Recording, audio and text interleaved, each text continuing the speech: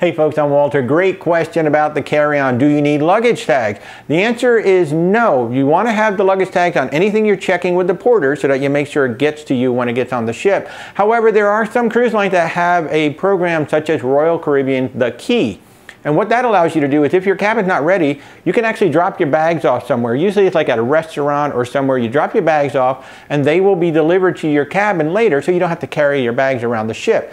In that circumstance, I might go ahead and put a luggage tag on it. They're gonna put a tag on there for you anyway, but if I have some extra luggage tags around, I'll probably just go ahead and put it on that carry-on so I know it's gonna make it to the cabin. But in general, nope, you don't need any luggage tags on your carry-ons. Thanks for the question.